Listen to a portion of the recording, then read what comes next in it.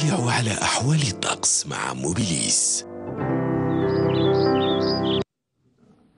مشاهدينا الكرام السلام عليكم ورحمة الله تعالى وبركاته. الأجواء اليوم كانت مغشاة بالنسبة لأغلب المناطق الشمالية للوطن دائما فيه ارتفاع نوعا ما لدرجات الحرارة القصوى سواء بالنسبة للسواحل وحتى الولايات الداخلية. سبب هذه الوضعية دائما نراجع إلى مرتفع جوي يعم حاليا حوض البحر الأبيض المتوسط لكننا نرتقب قدوم بعض الاضطراب الجوي الذي يكون سريع الحركة. ضعيف النشاط سيميز بداية المناطق الغربية الوسطى صفاءة بالنسبة للمناطق الصحراوية. غدا بحول الله أحوال الطقس المرتقبة حسب مصالح الأرصاد الجوية. الأجواء ستميل إلى صفاء عدد تشكل بعض السحب تبقى عابرة بالمناطق الغربية وحتى الوسطى وصولا إلى الولايات الشرقية. لكن بعض الأمطار التي ستكون في الموعد خلال ليلة الغد على الولايات الغربية ستنتقل أواخر ليلة الغد على الولايات الوسطى.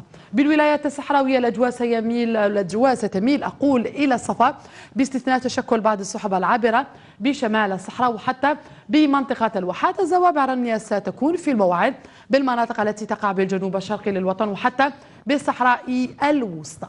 خلال هذه الليلة والصبيحة الغد حتى درجات الحرارة الدنيا ستشهد ارتفاعا نوعا ما مقررة بالأيام القليلة الفارطة. إذا لتقارب 13 درجة. هذه المرة بتيزي وزو 12 بالعاصمة. عنا بسكيكدا وهران مستغانم. 11 درجة بتلمسان 8 درجات بالجلفة. 7 درجات بتيرت والبيض. باتنا لن تتعدى 13 بشمال الصحراء. نفس المقياس بتندوف 16 درجة بأدرار عين صالح إليزي 15 بتمنى راست وجنت. لتقارب 23 درجة ببرج بجي مختار وعكسة عن ظهيرة الغد الحرارة القصوى دائما تبقى نوعا ما مرتفعة مع التسجيل على مقياس بالغرب الجزائري. بتلمسان مع 23 درجة نفس المقياس بقلمة. سوق راس 21 درجة بالعاصمة 22 بوهران مستغانم وحتى بالبيض 21 بالجلفة.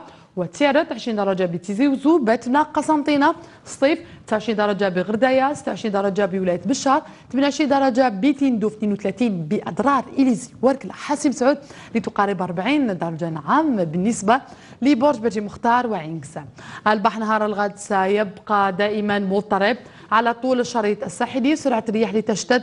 على السواحل الغربية سرعتها يمكن أن تصل إلى 50 كم في الساعة تبقى من ضعيفة إلى معتدلة.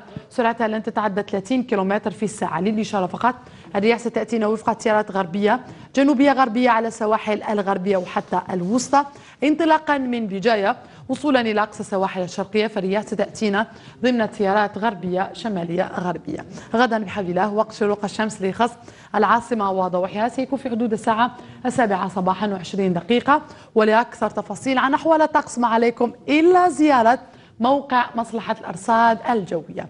كانت تفاصيل أحوال الطقس المرتقبة لهذه الليلة لنهار الغد بحول الله. أشكركم على المتابعة. لقائي معكم سيتجدد غدا إن شاء الله.